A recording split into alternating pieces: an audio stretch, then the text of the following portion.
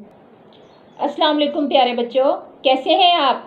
उम्मीद है कि आप सब अल्लाह ताला के फजलो करम से, खैरियत से होंगे और अपना जुलाई वर्क वीडियो लेक्चर्स की मदद से कंप्लीट कर रहे होंगे।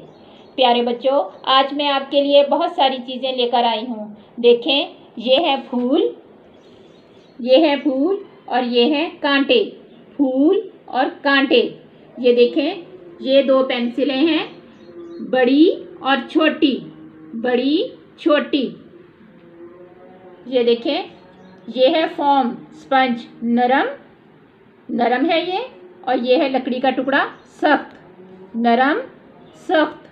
और ये है, दो किताबें हैं हमारे पास, मोटी, पतली।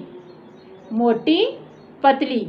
और ये देखें, ये है हमारे पास बर्फ़। बर्फ़ क्या होती है? ठंडी। ये है ठंडी, और इसमें चाय गरम। ठंडा गरम। बच्चों, आपको कुछ अंदाज़ा हुआ आज हम कौन सा टॉपिक पढ़ने वाले हैं? सोचें। ये जो मैंने इतनी सारी चीज़ें दिखाई हैं, ये सारी एक दूसरे के उलट हैं, यानी ऑपोजिट हैं। जी हाँ आप सही सोच रहे हैं। आज हम पढ़ेंगे मुतजाद अल्फाज, यानी उलट अल्फाज। अपनी उर्दू की किताब का सफ़ा नंबर तीस खोलें।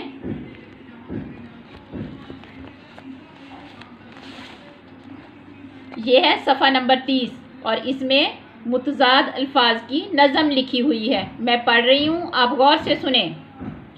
ये सबक अच्छी तरह से याद है। एक है लफ्ज़ और दूसरा मुतजाद है। सच्चा, झूठा, नेक, बद, खोटा, खरा। दोस्त, दुश्मन, गम, खुशी अच्छा बुरा। कुफर, इमा, पाक, गंदा, सर्द, गर्म। आगे पीछे दाएँ बाएँ, सख्त नरम।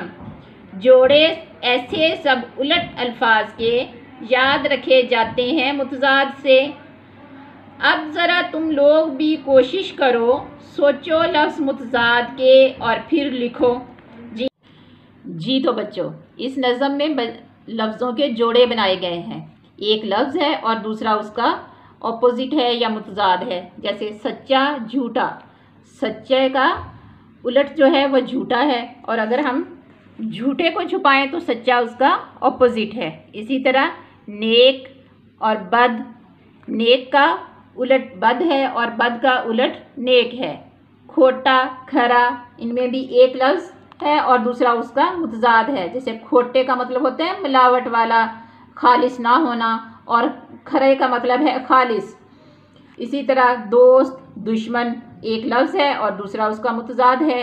गम, खुशी अच्छा बुरा, कुफर, इमा, पाक, गंदा, सर्द, गरम, आगे, पीछे, दाएँ, बाएँ, सख्त, नरम।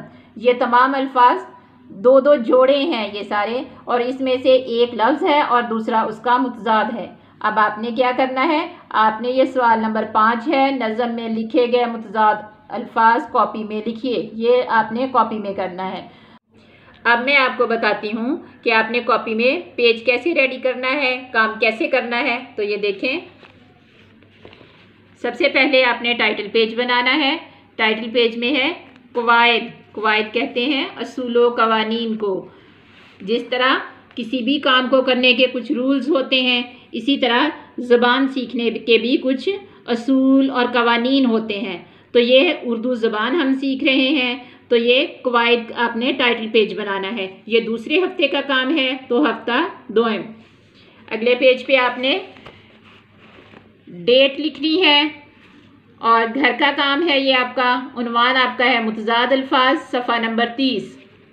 अब सफ़ा नंबर तीस पे सवाल है, नज़म में लिखे गए मुतजाद अल्फाज कॉपी में लिखिए। अभी मैंने आपको नज़म पढ़ के सुनाई, उसमें लफ्ज़ों के जोड़े हैं। एक लफ्ज़ आपने यहाँ पे लिखना है उससे आगे वाला लफ्ज़ उसका मुतजाद है वो आपने यहाँ लिखना है। आपने ये सारा काम बहुत साफ़ सुथरा और अच्छी राइटिंग में लिखना है। उम्मीद है आपको टीचर की ये कोशिश पसंद आई होगी। आप अपने इस लेक्चर को अपने फ्रेंड्स को भी दिखाएँ और जिनको मुतजाद अल्फाज समझ नहीं आते उन्हें ज़रूर दिखाएँ। इस तरह उन्हें भी समझ आने लग जाएगी। प्यारे बच्चों अपने चैनल को सब्सक्राइब करना नहीं भूलें और कमेंट्स में हमें बताएँ कि आपको ये वीडियो कैसी लगी। जजाकल्ला। इन दोबारा किसी और वीडियो में आपसे मुलाकात होगी। अपना ख्याल रखिएगा। अल्लाह हाफिज़।